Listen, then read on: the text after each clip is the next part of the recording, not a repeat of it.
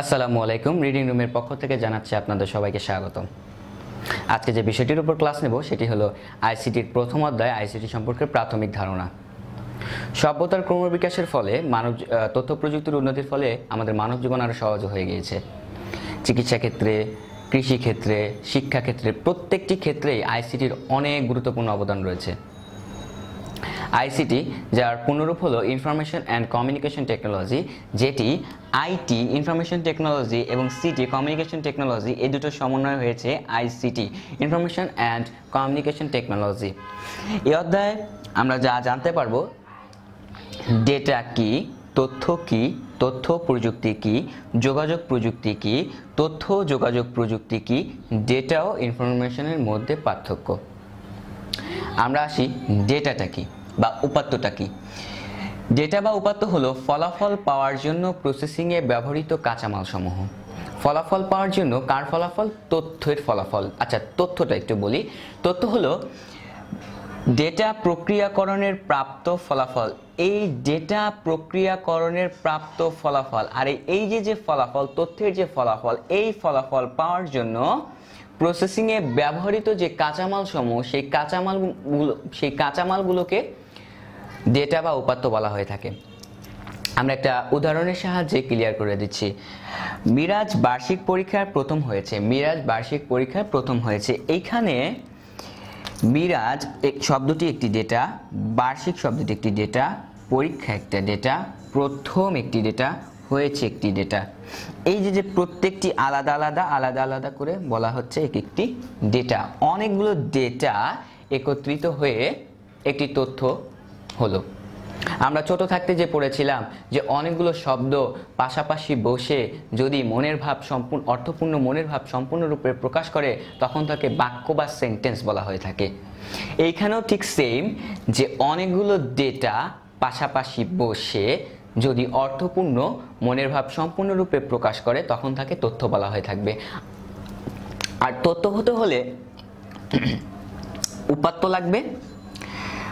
প্রেক্ষিত বা কনটেক্সট লাগবে কনটেক্সট ঠিক থাকতে হবে এবং অর্থ মিনিং লাগবে।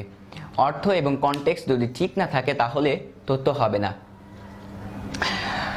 তাই উপাত্ত তথ্য হলো এই উপাত্ত প্রেক্ষিত অর্থ, এই তিনটি সমন্বয়ে, এই একটি যদি না থাকে তাহলে তথ্য হবে না। তাহলে আমরা বুঝতে পারলাম যে ডেটা কি? যেটা হলো ফলাফল পাওয়ার জন্য প্রসেসিং এ ব্যবহৃত কাঁচামাল। এই কাঁচামাল সময় হলো এই যে যে, এই যে কাঁচামালগুলো মিরাজ বার্ষিক পরীক্ষায় প্রথম হয়েছে। এগুলো এক একটি কাঁচামাল। এই কাঁচামালের সমন্বয়ে একটি তথ্য হলো যে মিরাজ বার্ষিক পরীক্ষার প্রথম হয়েছে। তাহলে আমরা তথ্য এবং উপাত্ত এটা খুব ভালোভাবে বুঝতে পারলাম। এখন আমরা আসব এই যে যে উপাত্ত, এই উপাত্তর হলো তথ্যের ক্ষুদ্রতম একক। তথ্যের ক্ষুদ্রতম একক হলো এই উপাত্ত। আর এই ডেটা মানে উপাত্তের অর্থ হলো ফ্যাট এই ডেটাকে তিন ভাগে ভাগ করা হয়েছে। নিউমেরিক অনিউমেরিক এবং বুলিয়ান বা লজিক্যাল নিউমেরিক হলো পরিমাণ বা সংখ্যা প্রকাশ করে থাকবে। আর অনিউমেরিক হলো পরিমাণ বা সংখ্যা প্রকাশ করবে না এবং বুলিয়ান হলো দুটো অবস্থা থাকবে জিরো অথবা ওয়ান হ্যাঁ অথবা না, প্রকাশ করে থাকবে। আর নিউমেরিক আবার দুই ধরনের, একটি হলো পূর্ণ সংখ্যা আর একটি হলো ভগ্নাংশ সংখ্যা। আর অনিউমেরিকগুলো হলো ভিডিও অডিও এগুলো। এখন দেখি আমরা তথ্য প্রযুক্তি আইটি ইনফরমেশন টেকনোলজিটা কি? তথ্য প্রযুক্তি হলো তথ্য সংগ্রহ, এর সত্যতা, বৈধতা যাচাই প্রক্রিয়াকরণ, পরিবহন, সংশ্লিষ্ট প্রযুক্তিটাই হলো তথ্য প্রযুক্তি। এখন আমরা আসব যোগাযোগ প্রযুক্তিটা কি? যোগাযোগ প্রযুক্তি হলো ডেটা ও তথ্য আদান প্রদান। তথ্য আদান প্রদান আমরা একে অপরের সাথে করে থাকি, এটাই হলো মূলত যোগাযোগ প্রযুক্তি কমিউনিকেশন টেকনোলজি এখন আমরা আসব এই যে আইসিটি আইসিটির গুরুত্বপূর্ণ উপকরণ সমূহ আইসিটির গুরুত্বপূর্ণ উপকরণ কম্পিউটার রেডিও টেলিভিশন ইন্টারনেট এগুলো। ইত্যাদি। আর এই ইন্টারনেটটা মূলত এসেছে অর্পানেট থেকে।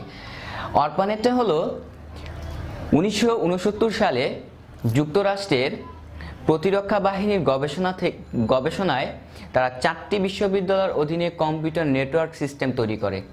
এই নেটওয়ার্ক সিস্টেম থেকেই মূলত ইন্টারনেটের কার্যক্রম শুরু হয়। সেখান থেকে এই এ- এটাকেই বলা হয়ে থাকে অর্পানেট, আর এই অর্পানেট থেকেই ইন্টারনেটের কার্যক্রম শুরু হয়। এখন আমরা বাংলাদেশ ও বিশ্ব প্রেক্ষিত আইসিটির কিছু প্রযুক্তি সম্বন্ধে জানব। প্রথমে আসি আমরা গ্লোবাল ভিলেজ। এই গ্লোবাল ভিলেজ কথাটি বলেছিলেন মার্শেল ম্যাকলুহান।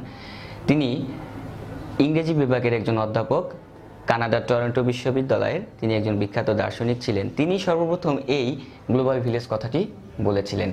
এই গ্লোবাল ভিলেজ অর্থ যেখানে পৃথিবীর সকল মানুষ একটি একক সমাজে বসবাস করে, তথ্য প্রযুক্তি ব্যবহারের মাধ্যমে একে অপরকে সেবা প্রদান করে থাকে।